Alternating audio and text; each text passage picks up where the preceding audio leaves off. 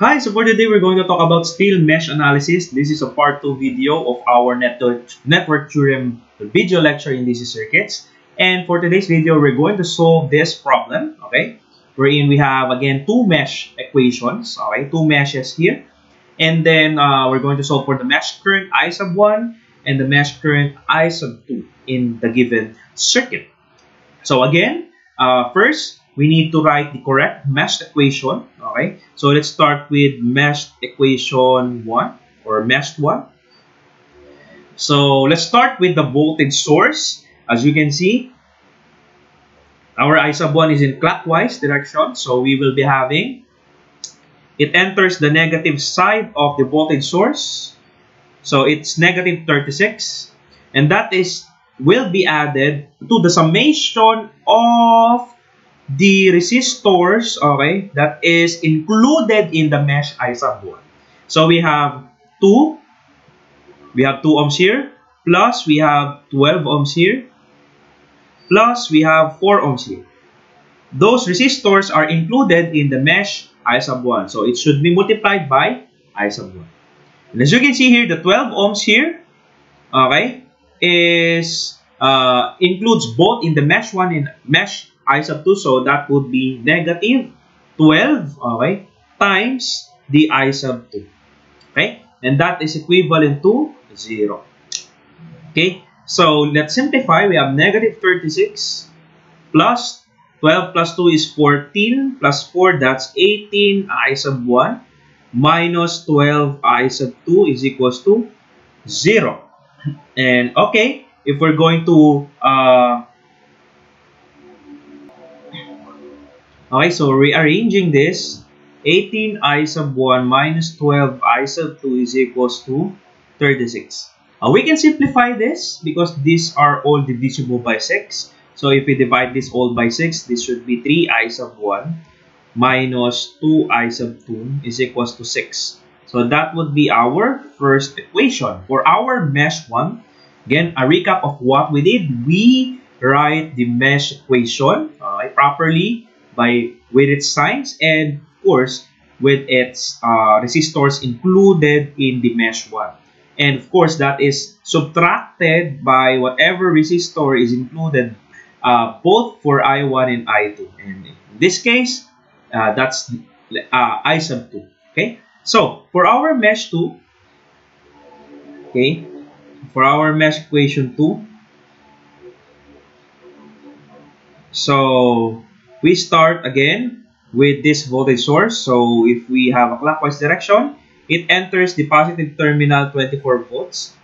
And of course, that is added to all the resistors included in the mesh I sub 2. That is 9 plus 3 plus 12 and that's I sub 2. Notice that it should be plus because we are now in our mesh analysis, mesh analysis I sub 2.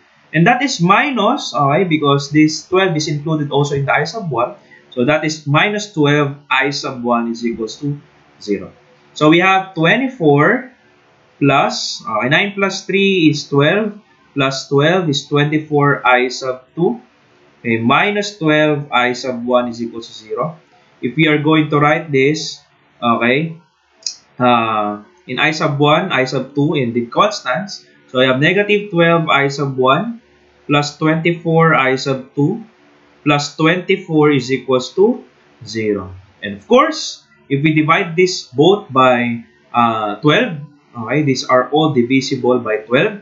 So we have negative i sub 1 plus 2 i sub 2 plus 2 is equals to 0. Or in other words, we have negative i sub 1 plus 2 i sub 2, okay, is equals to negative 2. And that is our second equation. And as I have said, we can rewrite this again. So 3i sub 1 minus 2i sub 2 is equal to 6. We have negative i sub 1 plus 2i sub 2 is equals to negative 2. Okay, we can simply eliminate i sub 2 by adding them. Okay, so if we add them, this would be 2i sub 1 is equals to 6 minus or plus negative 2, that's 4 our I sub 1 is simply 4 over 2 and that is 2 amperes. And we can substitute I sub 1 on any of the equation. Let's say for equation 2. So substitute uh, I sub 1 is equal to 2 amperes to equation 2. So let's see what we will get. So we have negative times I sub 1, that's 2. Okay. Plus 2 I sub 2 is equal to negative 2. So negative 2. Okay plus 2i sub 2 is equals to negative 2. What will happen here? We have 2i sub 2, negative 2, transpose this, this would be positive 2.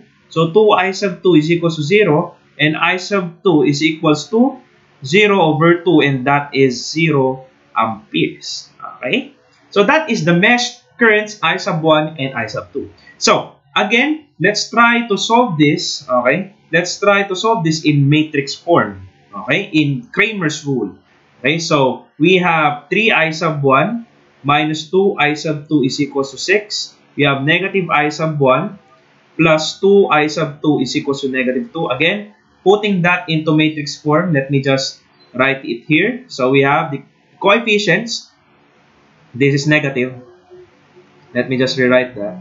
So this is negative. So we have 3 as a coefficient and then we have negative 1 for negative 1 we have negative 2 and we have 2 and that is equal or multiplied by the mesh currents i 1 and i 2 and that is equivalent to the constant okay 6 and negative 2 okay so what we did is to get the determinant of this coefficient. So we have 3 negative 1 negative 2 times 2 so that should be 3 times 2 Okay, 3 times 2 minus this one, negative 1 and negative 2. So we have 6 minus, okay, negative 1 times negative 2 is 2. So that is basically 4. And of course, to get delta sub 1 is we're going to replace the first column of our coefficient matrix by the constant. So we have 6, negative 2, and we have negative 2 and 2. So, get the determinant, 6 times 2, okay? And then minus negative 2 times negative 2. So, that is 12 minus, basically negative 2 is negative 2 times, negative 2 times negative 2 is 4. Okay, so we have 12 minus 4, and that is 8. And in order for us to get I sub 1, again, our formula is I sub 1 over, uh, is equals to delta sub 1 over the delta. Our delta sub 1 is 8. Our delta is 4. So 8 divided by 4, eh, that is equivalent to 2 amperes. So how about, again, delta sub 2?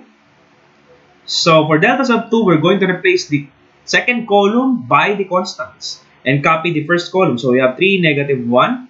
Then we have 6, negative 2. Get the determinant. So 3 times negative 2, that's negative 6 minus the uh, summation of products of this another diagonal. So we have negative 1 times 6. So what happens here is we have negative 6. Negative 1 times 6 is uh, negative 6. So what will happen is negative 6 plus 6, that is 0.